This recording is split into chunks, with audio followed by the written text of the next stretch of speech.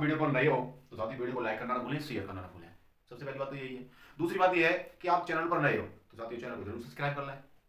तो आज मस्त तरीके से ट्रिक के माध्यम से और शानदार तरीके से रस पढ़ाने वाला हूँ और साथ ही आप वीडियो को पूरा देखें। इस वीडियो में अधूरा छोड़कर न जाए। ये भी ध्यान रखें, यदि आप अधूरा छोड़कर जाएँगे तो आपको रस समझ में नहीं आने वाले। इससे सस्ते, इससे अच्छे रस कोई आपको कहीं भी नहीं मिलेंगे। ठीक है? ये तो मैं नहीं कहूँगा मेरे से अलावा कोई अच्छा नहीं पढ़ाता सब अच्छे पढ़ाते हैं। पर आपकी ये सोच है कि आप कहाँ अच्छा समझते हैं? ठीक है? तो देखिए मेरे दोस्तों, रस। आज का टॉपिक होगा रस। रस किसे कहते हैं? रस किसे कहते हैं? तो रस का मतलब होता है आनंद, ठीक है? जिसे देखकर, जिसे सुनकर, जिसे पढ़कर हमें आनंद की अनुभूति प्राप्त हो, वो क्या होता है? रस होता है। तो कह देंगे मोटी मोटी बात में कि रस का शाब्दिक अर्थ होता है आनंद। क्या होता है मेरे दोस्तों? आनंद। जिसको हमने सुना, जिसको हमने पढ़ा, जिसको हमने देखा, जहाँ पर हमें आनंद की अनुभूति हुई, उसे कहेंगे रस। ठीक है? और आगे देखिए, रस को। रस की आत्मा किसे कहते हैं मेरे दोस्तों? और रस की आत्मा। आपसे पूछ लेगा, रस की आत्मा किसे कहा गया है? तो आप टिक कर देना, काव्य को कहा गया है।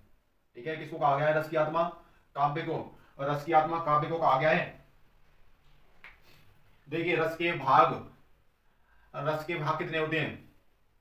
रस के भाग। मेरे दोस्तों, रस के भाग चार होते हैं। कौन कौन से होते हैं, देख लीजिए। पहला होता है स्थायी भाव ठीक है? स्थायी भाव दूसरा होता है विभाव तीसरा होता है अनुभाव और मेरे दोस्तों, चौथा होता है संचारी भाव ये इंपॉर्टेंट है, संचारी भाव ये बहुत ही इंपॉर्टेंट होने वाला है। ये हमारा टॉपिक और ये वाला टॉपिक आपसे रस को पढ़ना होगा क्योंकि यही इन्हीं से आपको परीक्षा में क्वेश्चन मिलेंगे। जब जब रस से क्वेश्चन आएगा तो इन टॉपिकों से क्वेश्चन ज़रूर मिलेगा आपको। ठीक है? ये इनको पढ़ना परंतु इतना इंपोर्टेंट नहीं परंतु इतने कहते हैं, सौ परसेंट इंपोर्टेंट है। ठीक है? तो रस को क्या कहेंगे? आनंद की अनुभूति प्राप्त उसे रस कहते हैं। रस की आत्मा किसी का आ गया काव्य को। रस के अंग भाग कितने हैं? या अंग कितने हैं? तो चार हैं। ठीक है? कौन कौन से? स्थायी भाव विभाव अनुभाव और संचारी भाव। पहले बात करेंगे रस, स्थायी भावों की संख्या। तो मेरे दोस्तों ये स्थायी भावों की संख्या नौ मानी गई है। कितनी मानी गई है? नौ मानी गई है। परंतु कुछ आचार्य आए। उन्होंने दो रसों बढ़ा दिए। दो रसों और प्लस कर दिए। ठीक है? तो कितने हो गए? नौ प्लस दो, नौ प्लस दो बराबर कितने? ग्यारह। तो कुल मिलाकर कितने रस हैं? ग्यारह। ठीक है? आगे। अब ये कौन कौन से रस हैं? तो एक तो होता है भक्ति रस। कौन सा भक्ति रस? और एक होता है बात रस। ठीक है? भक्ति रस और बात रस। को दो आचार्य है ना उन्होंने बढ़ा दिया दो रसों को। पहले रसों की संख्या नौ थी, दो आचार्यों ने भक्ति रस और बासुर रस को बढ़ा दिया। परंतु इन्हें हम कहाँ काउंट करेंगे अभी बताऊँगा आगे वीडियो के माध्यम से। आगे बात करेंगे मेरे दोस्तों। एक एक आचार्य थे, उनका नाम था भरत मुनि भरत मुनि भरत मुनि ने रसों की संख्या, स्थायी भावों की संख्या केवल आठ मानी है। ठीक है? और उन्होंने क्या नहीं माना? शांत रस नहीं माना। आपसे पूछ लेगा भरत मुनि ने कौन सा रस नहीं माना? तो आप टिक देना, शांत रस नहीं माना। शांत रस नहीं माना। ठीक है? ये भी ध्यान रखना है। भरत मुनि के अनुसार कितने रस हैं? आठ रस हैं। कौन से रस को नहीं माना? शांत रस को। पहले स्थायी भावों की संख्या कितनी थी? नौ थी। और दो आचार आए, उन्होंने दो रसों को बढ़ा दिया। कौन कौन से रस? भक्ति रस और भास्कर रस को। ठीक है? तो इसे लिख लीजिए, फिर इसे आगे बढ़ते हैं।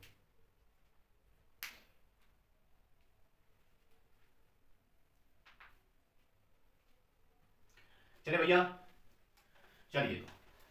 पास में आइए मेरे दोस्तों। अरे मेरे दोस्तों, भाई बहनों, जो भी हो, आप जो कुछ मानते हो, ठीक है? तो देखिए और रस अपने बताए, रस ग्यारह प्रकार के, ठीक है? रस ग्यारह प्रकार के इनके खंड करें तो नौ प्लस दो होते हैं।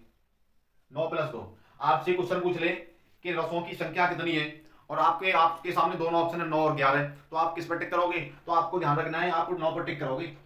ठीक है? आप कितने पर टिक करोगे? नौ पर। यदि आप दोबारा सुनाए, यदि कोई परीक्षा में क्वेश्चन आता है, रसों की संख्या कितनी है? ऑप्शन दोनों है, नौ और ग्यारह तो आप नौ पर टिक करना। ठीक है? ग्यारह पर टिक करना। ठीक है? आगे भैया रस। रस की बात कर ले, देखिए रस। अब इनके रस हैं स्थायी भाव ग्यारह हैं। इनके रस बताएँगे स्थायी भाव। इधर डालो रस और इधर डालें स्थायी भाव। एक तरफ़ रस, एक तरफ़ स्थायी भाव। पहले रस की बात करेंगे, श्रृंगार रस। श्रृंगार रस का स्थायी भाव होता है, रति। ठीक है? श्रृंगार रस को का स्थायी भाव होता है, रति। और भैया मेरे दोस्तों, श्रृंगार रस को रसों का राजा भी कहा गया है। रसों का राजा किसको कहा गया है? श्रृंगार रस को। श्रृंगार रस के दो भेद हैं। श्रृंगार रस के भाग दो हैं। कौन कौन से हैं? एक होता है वियोग, पहले वियोग, फिर संयोग। संयोग, ठीक है? संयोग और वियोग का मतलब क्या होता है? ठीक है? संयोग माने होता है मिलाप, मेल। ठीक है? मेल होना। मेल होना, आप समझ रहे हो? मेल किससे होता है? और वियोग माने होता है जब पिछड़ना क्या होता है? बिछड़ना, एक दूसरे से दूर होना। वो होता है वियोग। एक होता है सहयोग वहाँ पर मिलते हैं, प्रेम युगल। और वियोग होता है, वहाँ पर प्रेम युगल बिछड़ते हैं। ठीक है? बात समझ आई ना? रसों का राजा श्रृंगार रस को कहते हैं। श्रृंगार रस के दो भेद हैं वियोग और संयोग। श्रृंगार रस का स्थायी भाव वृद्धि होता है। आगे बात कर ले करुण। मेरे दोस्तों, करुण का स्थायी भाव है शोक। जहाँ पर दुख की भावना पैदा हो, जहाँ पर दुख की भावना पैदा हो, वहाँ पर शोक के रूप में मनाया जाता है। आप तो समझते होंगे, ठीक है? टाइप आप शोक हो जाएगा। आगे बात कर लेंगे। रौद्र रस रौद्र रस रौद्र माने होता है क्रोध। यहाँ क्रोध की बात होगा, क्या होगा? रौद्र होगा। रौद्र धारण करना होगा। क्रोध, ठीक है? इस टाइप हो जाएगा क्रोध। आगे होता अद्भुत। अद्भुत। अद्भुत का टाइप होता है आश्चर्य। आश्चर्य, ठीक है? या विस्मय। या विस्मय, आश्चर्य की भावना। अरे, ये हो गया, है? ऐसे तो बोलते वो आ गया, ये हो गया। आश्चर्य की भावना, जहाँ पर कोई हमें संभावना नहीं थी वो काम हो चुका है, वहाँ पर आश्चर्य की भावना पैदा हो जाए उसे कहते हैं अद्भुत, ठीक है? अब होता है एक शांत रस। शांत रस में निर्वेद, शांति की बात होती है। उसे कहते हैं निर्वेद स्थायी भाव निर्वेद हो जाएगा, ठीक है? अब होगा हास्य। हास्य रस का ऐसा ही बोलेगा हँसी, ठीक है? हास्य, या हँसी, एक ही बात है। हास्य, जहाँ पर किसी काव्य को पढ़ने में हँसी आए, हास्य की भावना पैदा हो तो वहाँ पर कौन सा रस होगा मेरे दोस्तों? हास्य रस होगा और इस, उसका स्थायी भाव क्या हो जाएगा? हास्य हो जाएगा। हास्य। ठीक है? अब बात करते हैं वीर रस की। एक होता है वीर रस। वीर रस का स्थायी हो जाएगा उत्साह। वीर तुम बड़े चलो धीर तुम बड़े चलो। है ना? आपने जहाँ पर आपको जोश मिले जहाँ पर आपको एनर्जी मिले वीरता की बात हो ठीक है? वहाँ पर कौन सा रस हो जाएगा? वीर रस होगा उसका इस्तेमाल उत्साह। ठीक है? अब आप में ज्वाला बढ़ी हुई है। अठारह फरवरी को पेपर देना है पुलिस को। अच्छी तरह से मेहनत करें और इतनी तरह से मेहनत करें कि आपका पेपर क्या हो? सफल हो मेरे दोस्तों सफल हो ठीक है? आप में एक वीर उत्साह भरा हुआ है। एक बात भयानक भयानक रस। भयानक रस का इस्तेमाल हो जाता है मेरे दोस्तों। भयक। भयक। भयानक अंधेरी रात में आप जा रहे हो तो आपको क्या लगेगा? भय लगेगा। यदि आप भयानक रात, अंधेरी रात में जा रहे हो तो आपको क्या लगेगा? भय लगेगा। डर की महसूस होगा आपको। डर। ठीक है? आगे बात करेंगे मेरे दोस्तों बेबस बेबस बेबस माना जुगुप्सा। जुगुप्सा। यहाँ पर क्लियर बात नहीं होती बेबस मतलब यहाँ पर थोड़ा सा अंदरूनी बात होती है, अंदरूनी, अंदर ही अंदर बात होती है। जुगुप्सा होती है? वैसे थोड़ा सा कैसे कह सकते हैं? अंदर अंदर मन में सोचते रहे, क्या हुआ, ये हुआ ये हुआ, ऐसे बात। ठीक है? जुगुप्सा की बात होती है भीतर ही भीतर की। ठीक है? एक होता है, मेरे दोस्तों, हमने बताए थे दो रस और। जैसे एक बताया था भक्ति रस।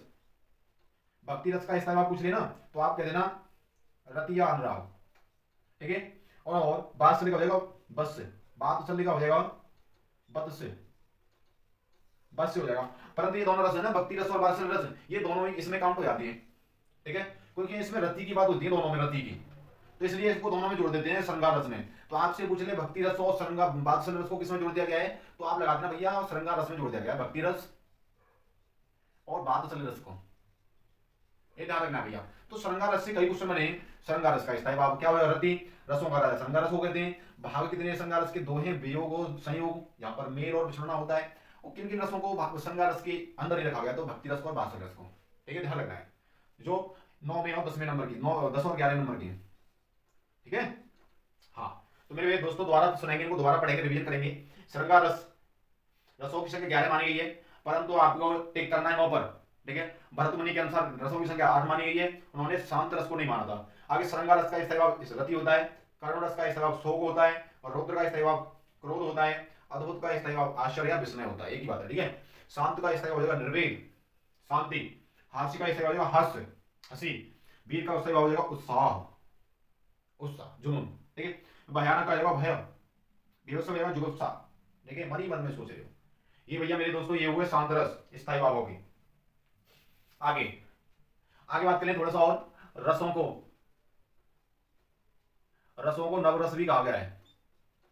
रसों को नवरस भी कहा गया है। नवरस मतलब ये नौ तो रस है, इसलिए क्या कर दिया, नवरस कहा दिया है। ठीक है?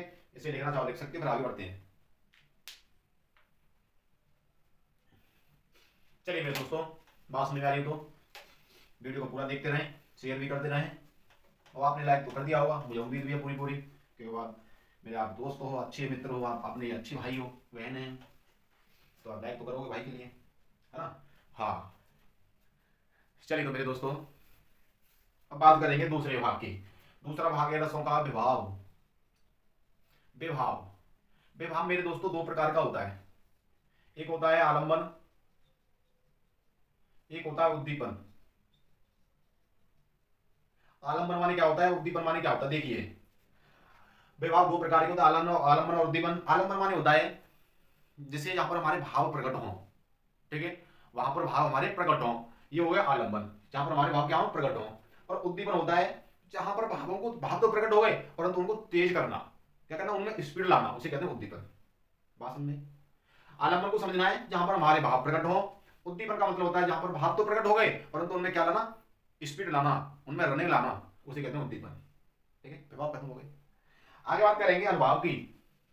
तीसरा होता है अनुभाव अनुभाव में इतनी कोई बात नहीं है। इनके नाम रखना याद, ये चार प्रकार के होते हैं अनुभाव। ठीक है? पहला होता है सात्विक।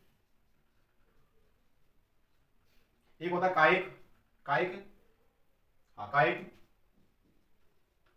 एक होता है वाचिक। एक होता है वाचर ये चार प्रकार की ध्यान रखना बस। आपसे पूछे डायरेक्टली अनुभाव कितने प्रकार की होती है तो आपने कर देना चार प्रकार की। आलंबन कितने प्रकार के, विभाग कितने प्रकार के दो प्रकार के, आलंबन और उद्दीपन। ठीक है, अब बात करेंगे चौथे भाग की, संचारी भाव ये इंपोर्टेंट भैया। थोड़ा सा पढ़ना है इनको, थोड़ा सा बस। आपके रस खत्म हो जाएँगे अभी। थोड़ा सा इसमें संचारी भाव में दिमाग लगाना है, ध्यान से पढ़ना है। संचारी भाव मतलब होती है भैया, जहाँ पर हमें, ये संचारी भाव थोड़े समय के लिए आते हमारे मन में, थोड़े समय के, तनक समय के लिए। ठीक है, तनक समय के लिए जैसे जैसे आपने किसी सुंदर लड़की को देखा, सुंदर लड़की को देखकर आपके मन में क्या आया? क्या जाकर हुआ प्रेम?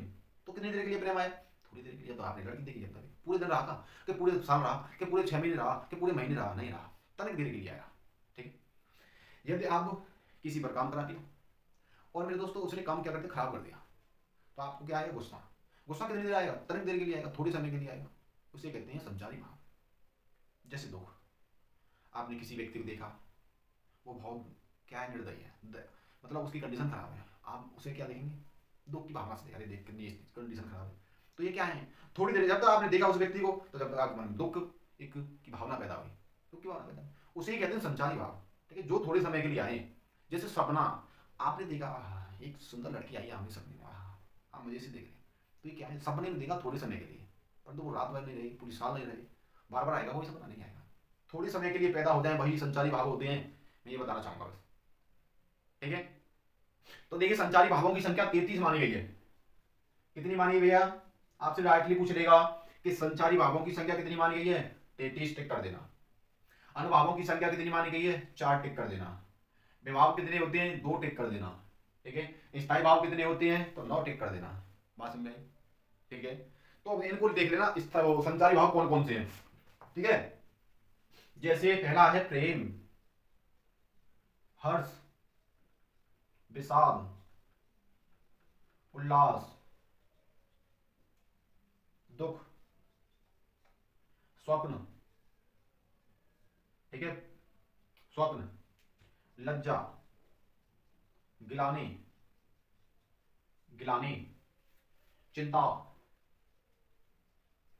चिंता, शंका सब भी आप, है? ओ अब यदि आपकी कोई है, वो किसी से बात कर रही है। ठीक है तो आप सब करोगे। क्या करोगे? आप सब कर सकते हो। रे कहीं दूसरी जगह चल रहा है, है? तो इस शंका शक की भावना पैदा। थोड़ी समय के लिए आई। ठीक है मोह गर्व गर्व दीनता उत्सुकता उत्सुकता वो ये हो जाएगा चपलता। दोस्तों चपलता एक बार दृढ़ता दृढ़ता। आपने दौड़ा अपना लिया कि अब की बार यूपी पुलिस पार है। हाँ। जड़ता आवेग आवेग में आगे, आवेश में आगे, है ना? उसे कहते हैं आवेश। आलस्य। आलस कितनी देर आता है आपके शरीर में? नहीं, थोड़ी देर के लिए निंद्रा। ठीक है? निंद्रा।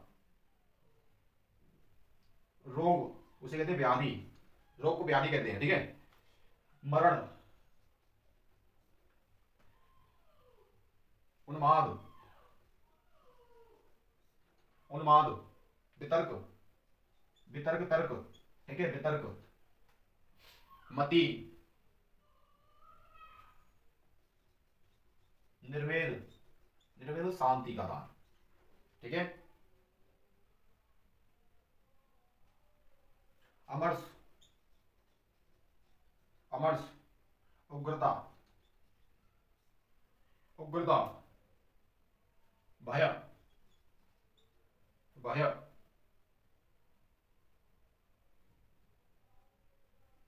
ये श्रम श्रम कर रहे हो ठीक है मूर्छा तो मेरे दोस्तों, ये कुछ संचारी भावों के शब्द थे तो इनको दोबारा पढ़ेंगे। प्रेम, हर्ष, विशाल, उल्लास। तो ये कम समय के लिए आते मैंने बताया था, ये अल्प समय के लिए आते हैं, थोड़े समय के लिए आते हैं। उल्लास होगा, दुख होगा स्वप्न आ जाए, लज्जा हो जाए, गलानी हो जाए, चिंता हो जाए, शंका हो जाए, ये मोह हो जाए, गर्व हो जाए, दीनता उत्सुकता चपलता, ठीक है? दृढ़ता, जड़ता, आवेश या आवेग, आलस्य, निंद्रा, निर्वेद, मति, वितर्क, तर्क, ठीक है? उन्माद, मरण, रोग अमर्ष उग्रता, भय, श्रम, मूर्छा। तो मेरे दोस्तों, आपको समझ में आएगा बेहतरीन तरीके से रस, ठीक है? रस बेहतरीन तरीके से रस समझ में आए होंगे तो आपको वीडियो अच्छी लगी हो। रस पूरी तरह से सौ परसेंट समझ में आए हैं तो वीडियो को लाइक करना भूलें शेयर करना भूलें और साथियों चैनल पर नए हो तो चैनल को ज़रूर सब्सक्राइब करें। जय हिंद, जय भारत।